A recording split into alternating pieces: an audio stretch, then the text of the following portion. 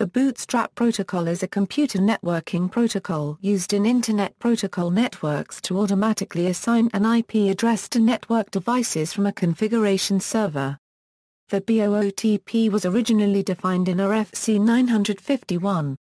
When a computer that is connected to a network is powered up and boots its operating system, the system's software broadcasts BOOTP messages onto the network to request an IP address assignment. A BOOTP configuration server assigns an IP address based on the request from a pool of addresses configured by an administrator. BOOTP is implemented using the user datagram protocol as transport protocol, port number 67 is used by the server to receive client requests and port number 68 is used by the client to receive server responses. BOOTP operates only on IPv4 networks. Historically, BOOTP has also been used for Unix-like diskless workstations to obtain the network location of their boot image, in addition to the IP address assignment. Enterprises used it to roll out a pre-configured client installation to newly installed PCs.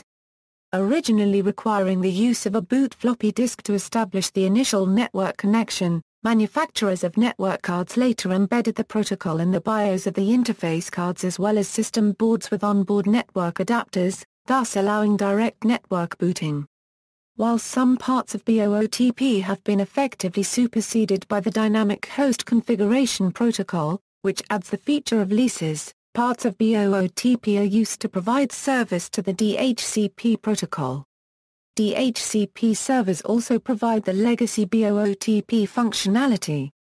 History The BOOTP was first defined in September 1985 in RFC 951 as a replacement for the Reverse Address Resolution Protocol RARP, published in RFC 903 in June 1984. The primary motivation for replacing RARP with BOOTP is that RARP was a link layer protocol. This made implementation difficult on many server platforms, and required that a server be present on each individual IP subnet. BOOTP introduced the innovation of relay agents, which forwarded BOOTP packets from the local network using standard IP routing, so that one central BOOTP server could serve hosts on many subnets. IETF standards documentation.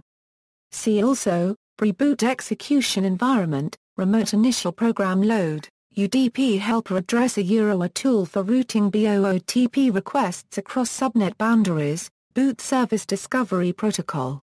References External links, BOOTP sequence diagram, Multicast BOOTP for configuring a network device from a workstation.